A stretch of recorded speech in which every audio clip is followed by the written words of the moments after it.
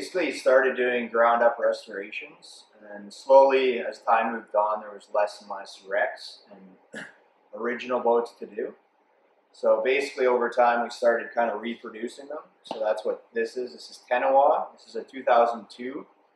We started with a, a Rainbow 3 design, which was uh, designed by John Hacker, built by uh, built by Ditchburn, and uh, raced in the 20s. This is like a scaled down version of that. the original was 26 feet length of hull. This is uh, 22. So plus the outboard rudder and the cutwater, you're about 23, 24 overall. So uh, the original customer owned it for about 18 years. It's recently sold and it's on its way to the Adirondacks. So basically what all we've done here is some routine varnish.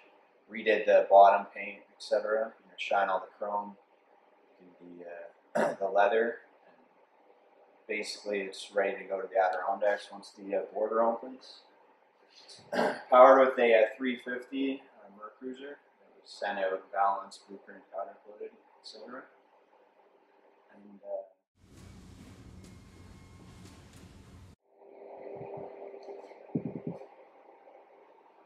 Wow.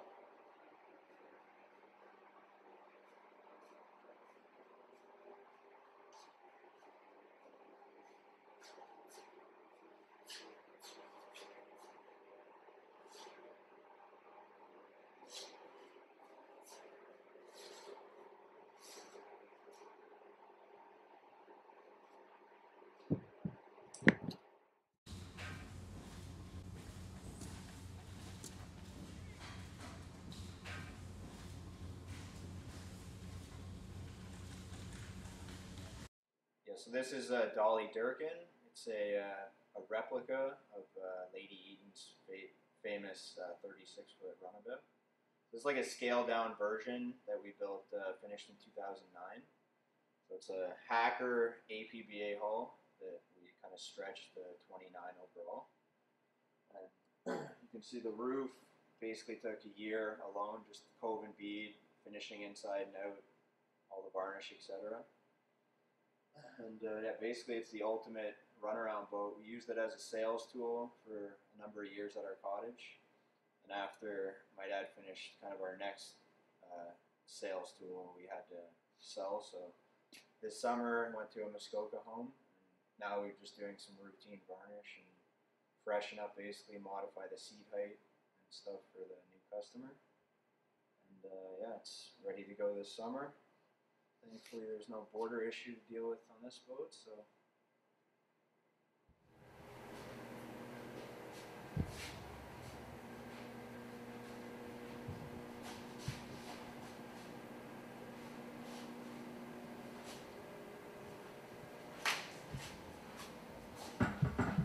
Don't touch it.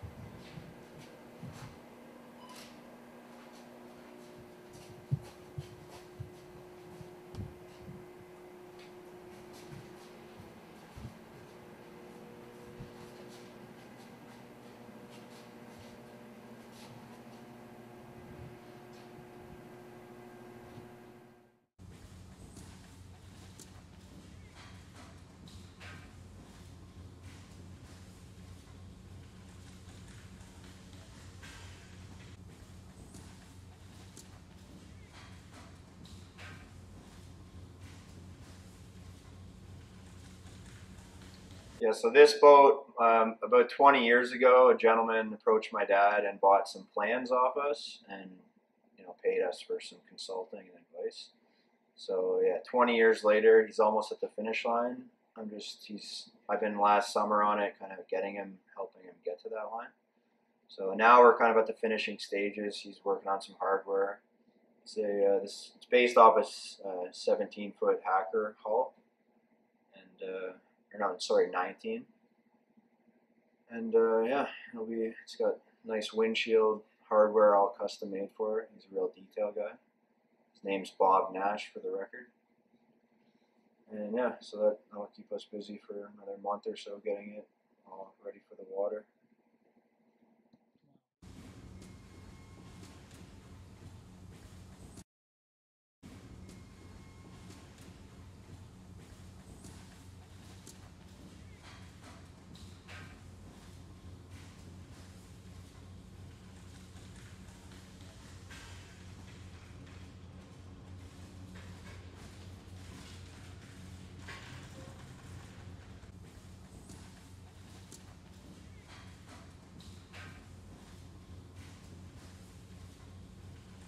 Yeah, so this is uh, Breen Boats build number 20. I was saying before, as time progressed and less originals were around, it kind of just naturally progressed to this.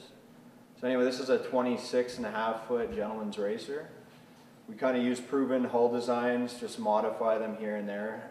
this one we've modified into, the transom comes actually into a ducktail. So basically from there, everything gets customized. So that's a wooden pattern that I've made for the uh, rudder standoffs. I'm sand cast like you can see there on the floor. And then in the end, you know, there won't be another like this in the world. So it's kind of fun. You get to make each boat as different and unique and you know high end as humanly possible. See up there, I got my drive line kind of rough fit, and uh, we're just sealing the bottom at this point. so generally, it takes about a year to get a hull kind of done on the inside and out, sitting on a cradle, ready to you know be decked and customized. So yeah, it's kind of at the exciting stage right now. yeah. Yeah, so same thing as I was just mentioning. This is a uh, wooden pattern we make. Each boat's slightly different, so you got to make custom cutwater pattern for each boat. Then we actually add about an inch after because they'll actually shrink a tiny bit. So to make this seam tight in the end, you can see now, I still have to take a bunch off so I get it perfectly, you know, it'll take me four or five hours to get this thing fitting perfect, the metal part. Anyway, in the end you end up with, stunning and durable cutwater. So, you know, some of the other ones are just plate steel. This thing gives you the ultimate protection.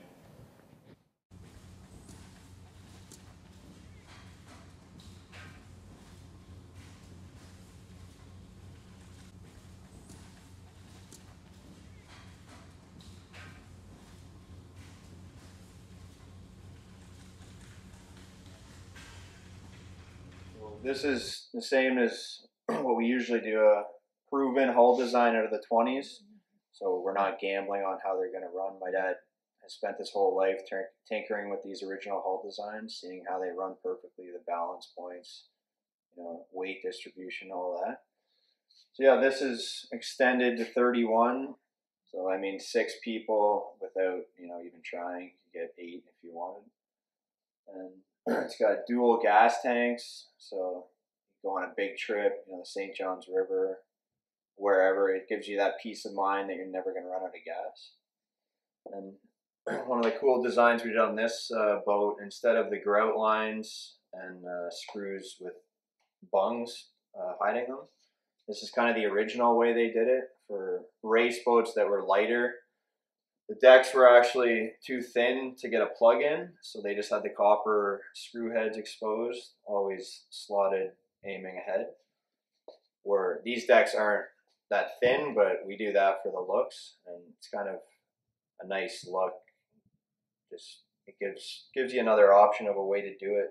He already had two boats with grout lines, so that's what's nice about a custom boat. You can you know, each stage asks the customer his individual preferences. The uh, transom is what really sets this boat apart.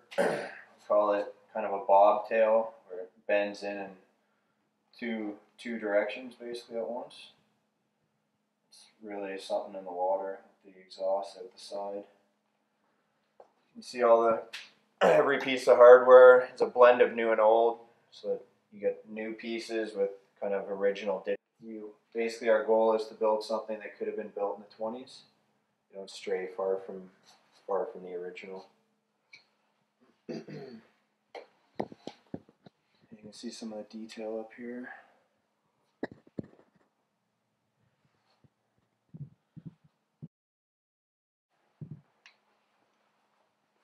So it's got the same vernier aircraft throttle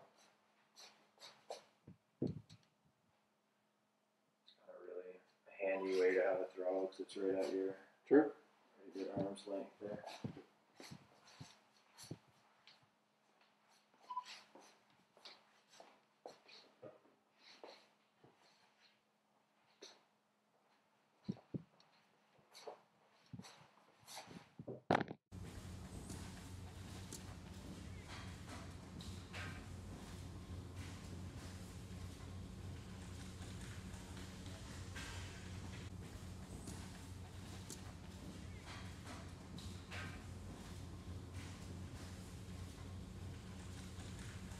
This, this is a nineteen twenty-six Ditchburn, twenty-six foot displacement launch. Very original, been re, kind of rebuilt, re-kept, kept up, maintained. Uh, Never a derelict boat or anything, always a running, working boat. So the old, the engine's really tired and they're just, in this era, they just weren't safe and reliable, the carburation.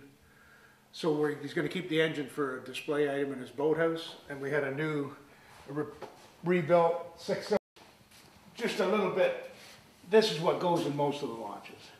Flat, they made the same flathead engine just around wartime to about 1955, 60. They were reliable, good carburation, perfect weight, torque, horsepower, and they're safe. The carburation is safe with flame, flame arresters. Ignition is safe for sparks. Most, a lot of these boats burn because the old engines, they just hadn't developed the carburation yet. So, and this is, this is a boat we rebuilt several years ago, but doesn't need anything else, just freshen it up, do the wiring, fit the gauges to the new engine, and just make everything work. It's a typical boat, if you look inside, you can see that over the years, it's had lots of stuff added and subtracted, and somebody's added another voltage regulator along the way when they change the generator. So they, over time, they get to the point where they've been patched up and kind of arenas around the world. So what we'll do now is we'll, the original dash will back in with the original gauges, but we'll freshen all the wiring up with original cloth. Clean it up, fix up all the years of patches and things that quite, quite often, when they're up north in the summer and a lot of the repairs are done are temporary type repairs, which end up never getting corrected. And over a period of those temporary repairs all add up. To, and you get to the point where you gotta kinda go through things and freshen them up a little bit. So that's what this is in for, just a nice working boat, and I in it many, several years ago. But all the seats and everything, floor, everything's original. Steering, really never been touched, just varnished.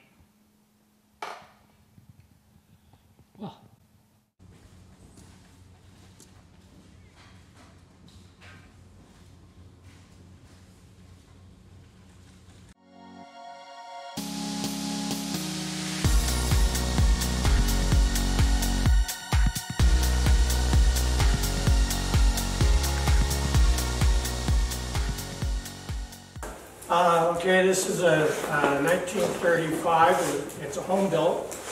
Uh, It's uh, spent its whole life in Fenelon Falls. Uh, The man is uh, 94 years old, uh, and his father built it once when he was 10 years old. In the late, it was originally an import, and in the late uh, 50s, they put an outboard on it, cut a motor well, put a bracket on the back steering wheel was up front, which I've got pictures. Um, So what we decided to do was um, bring it back a little more to what it was originally, because the wheel up front is too much weight up ahead, it wouldn't have uh, run right. So uh, put in the, uh, moved everything to the back, put all new decks on, I shortened the front, the front deck, put the combing on, uh, epoxy bottom, the sides are original, the framing's all original. Um, We went with the, um, uh, this pattern in the seats, uh, kind of gives it that 30 look. You know, you see that in some of the old, really old boats. And I also kind of stole some of the look from Jerry Lodge's boat. You know, the, the the contrast in color with the, uh, with the, uh, I thought that was quite nice. And because the hall was so dark, uh, like it's very old, it's hard to kind of hide some of the uh, imperfections. Uh, With the dark, it, uh, I I think it looks quite dramatic. And uh, the motor's original from, they bought the motor new back in, the- when they, when they uh, repowered. So, and it's original paint on it, so it's, it's all in good shape. Yeah, they're, uh, it's- it's a fun boat, and they're, uh, they're quite pleased, so that's, uh, that's that's what we try to achieve. Great. It's the, but so the, the man is coming to see the boat that we got it from. Uh, And he's been following it as I've been doing it. People that own it now are their neighbors from the cottage. They've been up there all their life, so he kind of gave them the boat with the understanding that they will do something with it.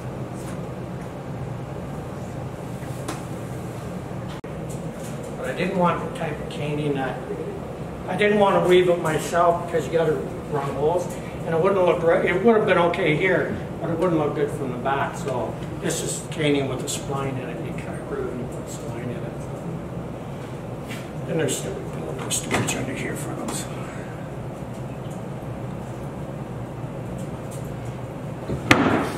And the graded floors. So this is a, a 1950 Greavette.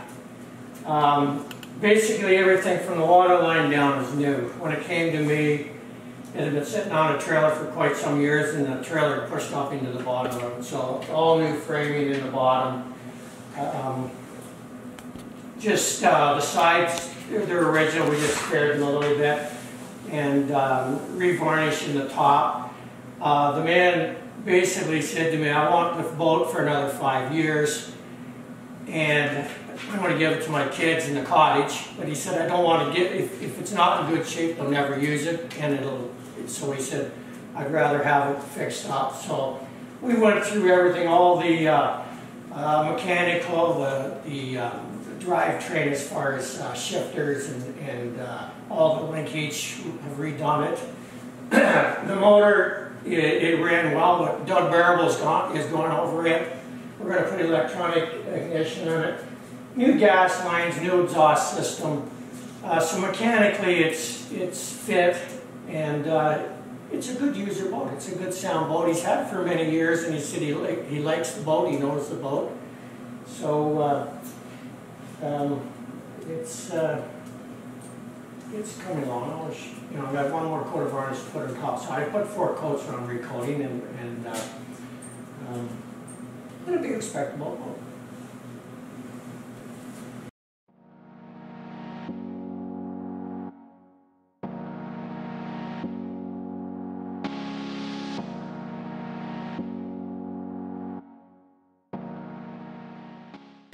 Hi, uh, welcome to Woodwork by Kevin. I'm uh, Kevin Hartley. Uh, Woodwork by Kevin, I've been running since uh, 95. I've been working uh, in the uh, Georgian Bay area and um, I usually work on bigger boats. I've had big Connies, uh, 42s and 36s and 38s and all big stuff, but now I've moved into the smaller boats, um, which I really enjoy because uh, I'm getting older and crawling around them is much easier on a smaller boat. Um, so before that, uh, I used to do uh, kitchen cabinets and furniture and stuff like that, but I've always had a love for boats. We had boats when we were kids and uh, uh, the passion uh, has carried on. I've had a boat since I was uh, early 20s, so I've, I've um, always loved boating and that's what's put me where I am today with, with boats. So this year we've had a really fun project of this Duke that I bought. I bought last summer um, with the intention uh, to fix and uh, restore and sell. But I was lucky enough that another client of mine uh, wanted this boat, so they've purchased the boat and uh, we've been working through it together. Um, together with mostly my decisions, but he's had some input as well, which is fun. So this is what we have. So this is a 1950 Duke. Uh, it's a Playmate. It's an 18 foot. Uh, when I got the boat, uh, it was had some finish on the side, but the decks were gray. So uh, what I did is uh, I went in and took a look inside the boat. And when I first looked, I thought maybe one or two ribs. And then as I started to take things apart, and I thought maybe seven, then maybe 14. And by the time we were done, we replaced 27 uh, steam bent ribs. So we had a good challenge uh, just before Christmas doing uh, all of these ribs. Um, once that was done, uh, we flipped the boat over and I had a bunch of planks on the bottom, and they weren't so much rotten, but they were just cracked and cupped, and they just were in really poor shape. So I changed a bunch of rib, a bunch of planks on the bottom, and um, and then once that was done, I sealed it, stripped the sides because it's so much nicer to do on when it's flipped over, and sanded it roughly, and then we flipped the boat back over and uh, continued to put the, the inside back together. Put a new transom in the back and we put some um, you know the framework back in and we're kind of at that stage where we're just starting to piece things back together and make sure everything fits before we get into the refinishing stage. Okay so when we were going through uh, the restorations i always it's important to me to try to honor the builder that built it and use the same products um, sometimes some of the products we have today are better, and I think that the builders of the time would have used the products like Sikaflex and such and such that we have today.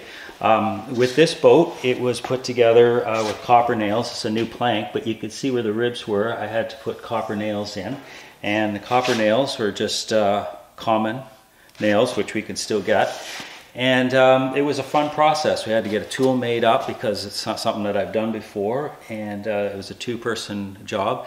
And uh, one guy on the inside and the other guy on the inside, uh, on uh, the outside. So it was, uh, it was a really neat experience. And um, it's, it's exactly the way it was when we started with uh, copper nails and the same process.